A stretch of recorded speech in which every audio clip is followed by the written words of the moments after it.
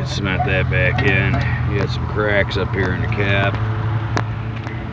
You're letting water in. You're letting water in. The rest of it's looking pretty good. Getting a little pocky. A couple little pocks in there, not a big deal. Around here's been tarred.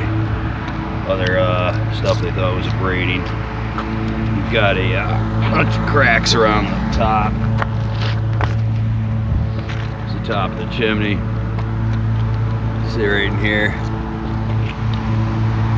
That needs to be fixed. All open here, water sneaking in there and here. All along the front here. Grind out, rinse clean, refill, fill this crack. That's what you need there. Flashing's wide open, letting water right into the roof. Absolutely a leak there, no doubt. That's gotta get caulked this little reglet right here they got hold in the caulk this is like should be buried in top quality sealant they've been using silicone so there's a break now in uh, any bonding to the uh,